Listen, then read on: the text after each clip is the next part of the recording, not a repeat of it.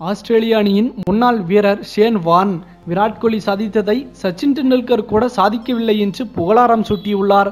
ராஜஸ்தான் அணியின் பயிற்சியாளரும் ஆஸ்திரேலிய அணியின் முன்னாள் வீரருமான ஷேன் வான் ஆங்கில செய்தி சேனல் ஒன்றுக்கு பேட்டி அளித்துள்ளார்.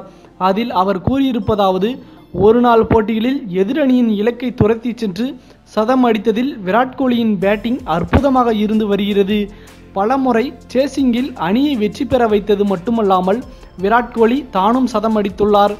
அது மட்டுமல்லாமல் ஒரு நாள் போட்டியில் சச்சின் ஐம்பத்தி ஒரு சதங்கள் அடித்துள்ள நிலையில் அவருக்கு அடுத்த இடத்தில் முப்பத்தைந்து சதங்களுடன் விராட் கோலி மட்டுமே இருக்கிறார். சேசிங்கில் எந்த வீரரும் செய்ய முடியாததை சச்சின் கூட செய்ய முடியாததை விராட் கோலி செய்து வருகிறார் என்பதே எனது கருத்தாகும்.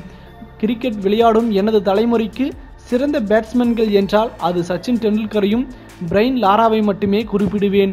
இப்போதுள்ள வீரர்களில் விராட் கோலி டிவிலியர்ஸ் இருந்தாலும் இருவரும் தனித்தனி வீரர்கள். இருவரையும் ஒரே தட்டில் வைத்து பார்ப்பது கடினம். நான் பார்த்த வகையில் விராட் கோலியின் பேட்டிங் மிகச் சிறப்பாக இருக்கிறது. அற்புதமான பேட்டிங் திறமையான வீரர். காலத்தில் அவரின் ஆக்ரோஷம் ஆவேச உணர்வு என்னை ஈர்த்துவிட்டது.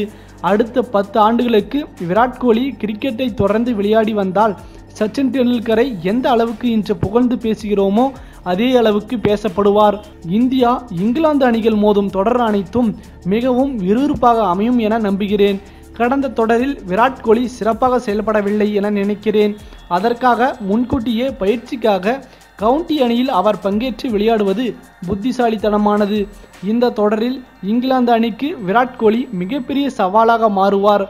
அடுத்த வரும் ஆஸ்திரேலிய தொடரிலும் விராட் கோலியின் பேட்டிங் பெரிய அளவில் பேசப்படும். கடந்த தொடரில் சிறப்பாக விளையாடியதை காட்டிலும் இந்த முறை கோலியின் பேட்டிங் சவாலாக இருக்கும்.